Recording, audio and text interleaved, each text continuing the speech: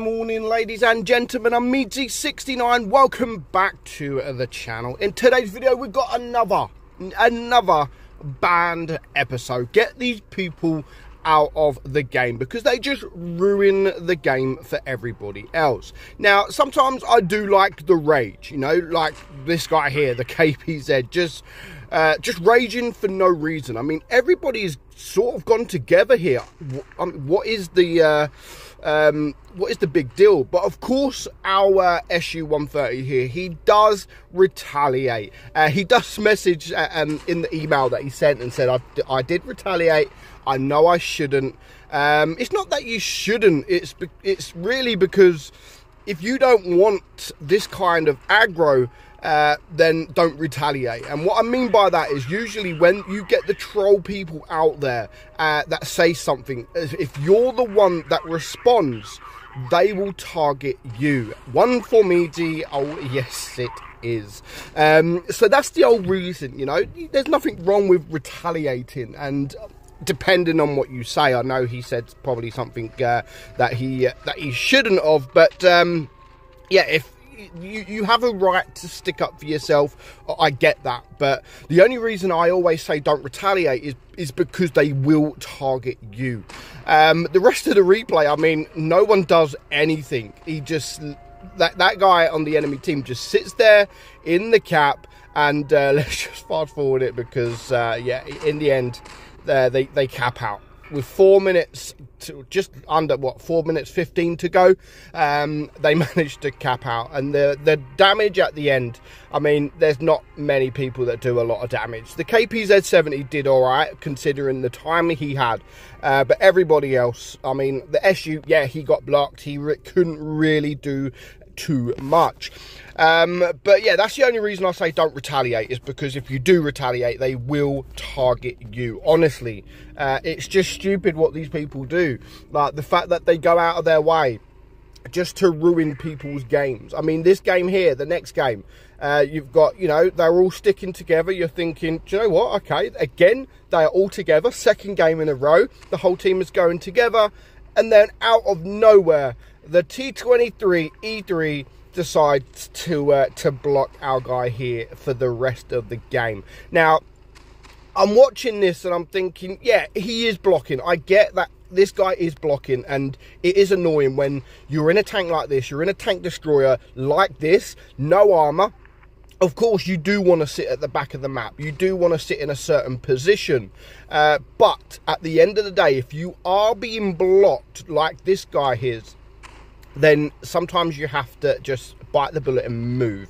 Now, I'm not sure if he's just trying to move here and he can't because uh, the T23 is pushing him. I mean, but look, he's literally pushing him out in the open. Them guys up there are just like, hmm, juicy. Look at this guy. Look at this ARL. Uh, how juicy is this? And the T23 is just pushing and pushing and pushing uh, until this guy will, uh, he's just going to die. And uh, fair enough, uh, they are asking. The Smasher is saying, dude, what are you doing? T23, what are you doing? Just stop.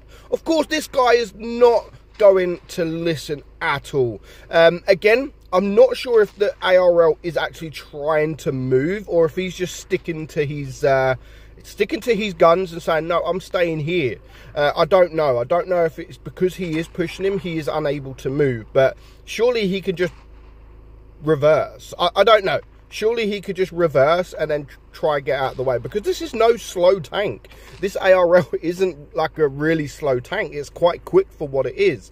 Um, my guess is he is trying to move, uh, but the way I see it is he's just staying there, um, being blocked and, and talking in chat. But I could be wrong. He could be trying to move, but because of uh, the angle, I suppose, because of where he is, I mean, I can't see his tracks moving. I, I don't.